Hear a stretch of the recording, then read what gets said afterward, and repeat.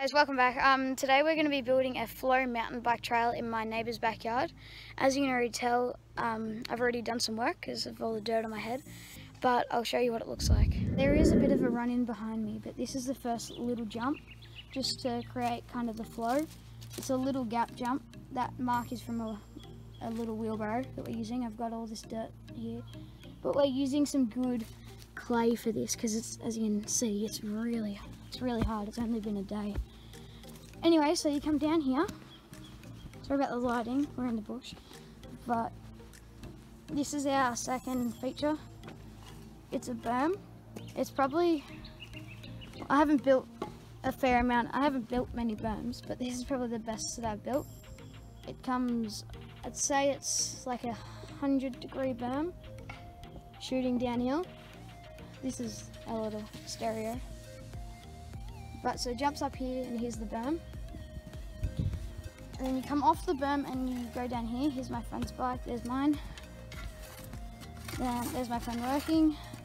And we're building a second berm. We found that putting big logs in it actually like really helps with building it up faster. And then we're cutting away here and putting that dirt up there to make the berm. And then it's gonna shoot down here and we're not sure where it should go we're trying to find a nice gap between trees to do it. But yeah, um, I might chuck us chuck you a time lapse now, and yeah, we'll get to work.